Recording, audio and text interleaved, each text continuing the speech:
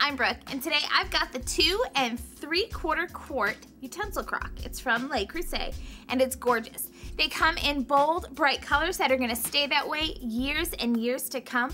It's heat resistant up to 500 degrees. You can toss it in the dishwasher whenever it needs to be washed, and I love the classic styling of it. Who knows, you can even double it up as a vase if you need to. It's from Le Creuset.